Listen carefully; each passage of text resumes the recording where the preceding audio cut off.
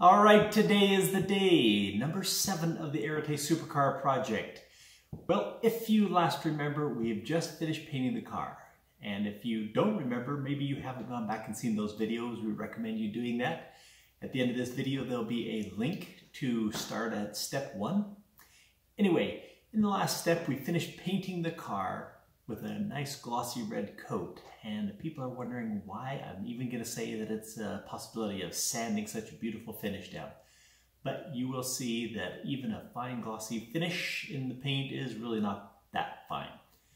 Um, maybe if you go to a clear coat and you do a flow coat in the clear, you could get a really good glossy coat, but we don't have that option. We're just gonna go ahead and sand down the red, get it ready to finish for taking molds off of. As part of that also, we will be putting the parting lines where the doors and the trunks and all the little attachments on the car are gonna be and have those marked out ready for mold taking. Anyway, let's go take a look. As mentioned, that super glossy painted surface is not as really as smooth as you'd think it would be. After taking a 120 grit block and working it over, you'll see that there's a little bit of an orange peel to it and some flaws. Those can just be taken out with that sanding block, of course. Work the whole surface over and get it all knocked down to a flat surface, and then go back to polishing it. We're not after a perfect show car finish, we're just after the perfectly smooth surface for taking the mold off of. This paint was a metal flake paint, and once you uh, sand down the flakes, they just don't look right anyway, but like I said, we're not worried about that, we're just after smooth and glossy for a perfect mold. And once we get it all polished and buffed out, we are ready to put a release on it. And that release, of course, is going to be wax.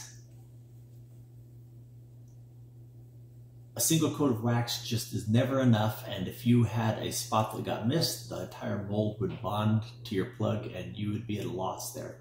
So always recommended to put three coats, complete coats of wax on one coat, it off, two coats, wipe it off, three coats, and you're ready. This wax surface will just be a, uh, a barrier to make sure that a release happens. We'll also be adding another releasing agent between those two as well. But getting it all coated with wax gets us ready for the final process. Here it is, waxed and ready to go. Once it's ready to go, the next step is to mark all of the parting lines, the doors, the bonnet, any kind of openings you might have, fuel fillers, things like that. And here I'm just trying to get a perfectly straight line across the car, so I have a laser set up to guide me, running the tape along the edge of the laser light, put it down, and oh, that wax is pretty slick. That roll trying to get up, hold it right there. Yeah,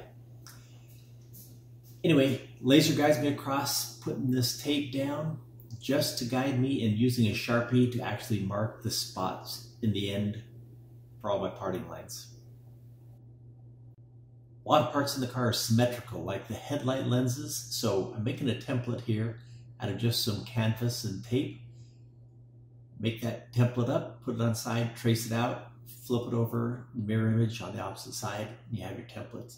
Same thing for some of these other openings, the doors and hood opening in the back there. Anyway, the parting lines are ready. Okay, well that's it with getting the plug ready for taking molds. Of course, there's lots more things that come on the car.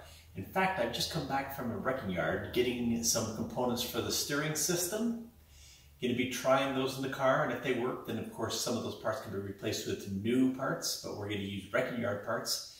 And while I was there, um, kind of like a serial killer, I took some parts from uh, the vehicles that we got donations from and gonna use those to uh, brighten up the shop. Give it a little decor here. This is a uh, wall of tribute where all the parts from different vehicles are going to be used to make this vehicle come back to life.